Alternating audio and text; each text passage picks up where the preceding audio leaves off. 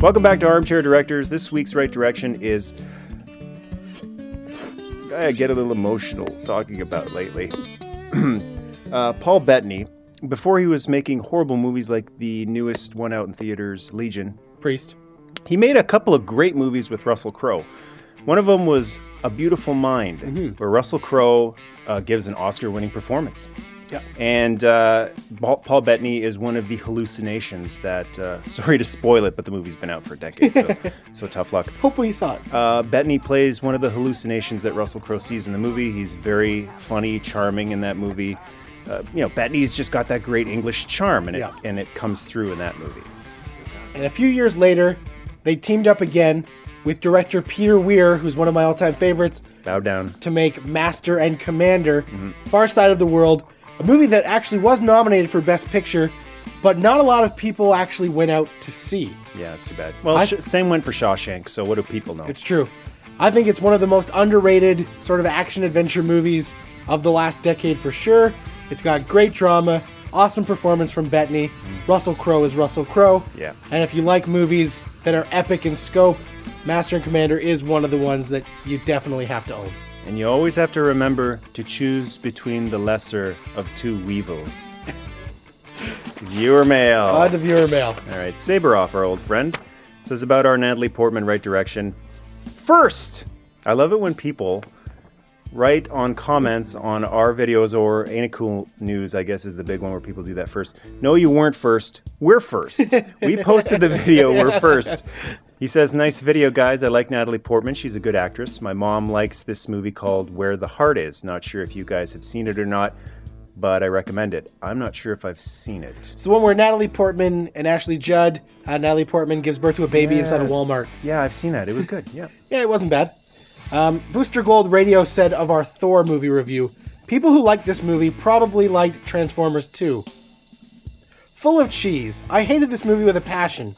It would have been a great movie if Thor never came to Earth, which gave it a very unneeded Power Ranger feel, especially when his friends come to Earth to fight the giant Power Ranger looking robot.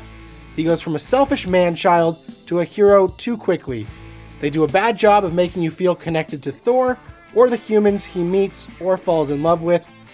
I guess we'll have to agree to disagree because I thought Thor was a blast, and you can't spend the whole movie in Asgard because that's too fantasy sci fi for what Marvel's trying to do right now. Say what you want about that comment. It was still very well thought out, and I appreciate that it wasn't sure. just this movie sucked. He actually went into the points why he didn't like it. So thanks a lot for the comment. good Goodfellas, 1001 says about Thor, love the film, best part, the acting. Well, that's going to happen with Kenneth Branagh, right? A Yeah. Shakespearean actor directing. Thor was very cocky and charismatic, and Odin was a great father figure. Also, the frost giant fight scene. Worst part, the comic relief girl. But she was getting laughs, so my worst part may be someone else's best part. I liked her. She she was in Defendor, right? Yep.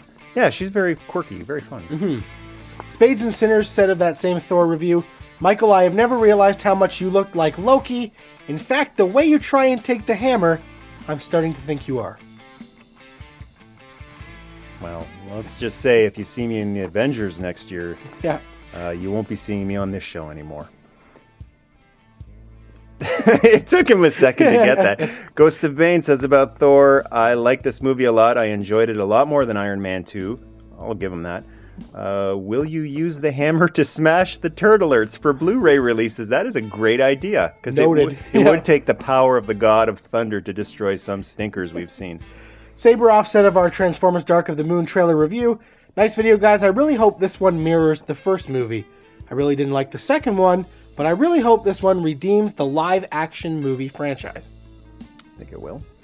Rybeast 2 says about Scream 4. I'm so glad you reviewed this movie as fans rather than D-bag critics.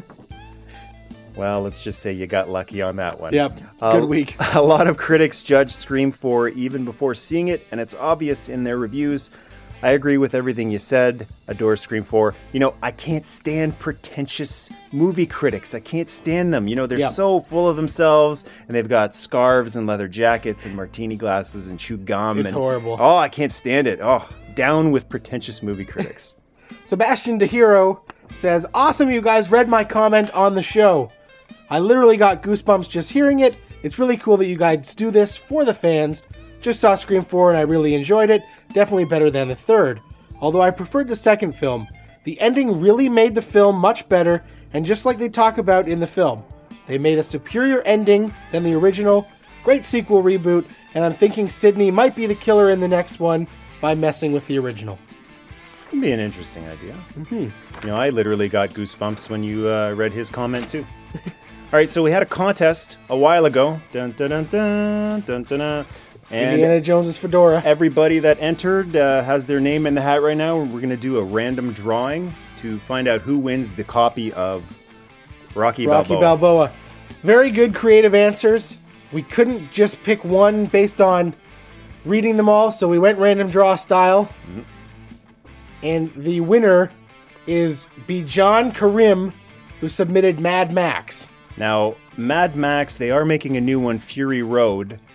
Uh, it takes place, though, possibly after Road Warrior, possibly a little bit before. There's no concrete ev- uh, proof or evidence right now when it's coming out, but all of our suggestions were like having continue a franchise. Yeah. And personally, I would love to see Mel Gibson. Say what you will about him in his personal life, but I would love to see old Mel back as old Max, uh, kicking butt.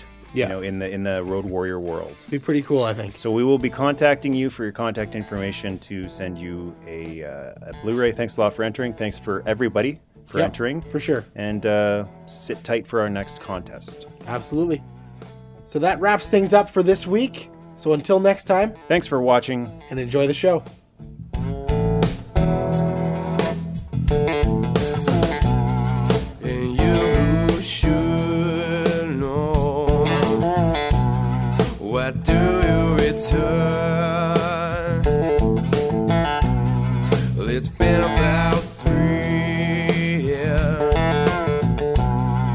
I first met your face yeah.